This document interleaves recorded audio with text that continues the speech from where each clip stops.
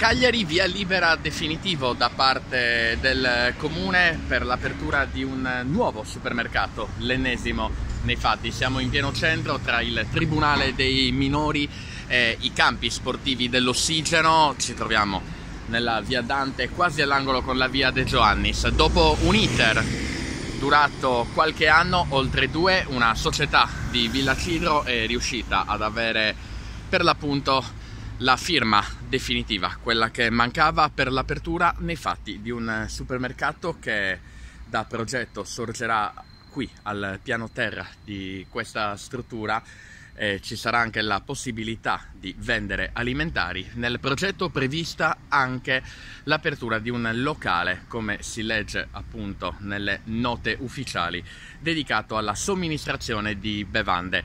Un pacchetto dunque che ha a che fare col commercio, con l'apertura di un nuovo centro commerciale, meglio un supermercato in pieno centro a Cagliari.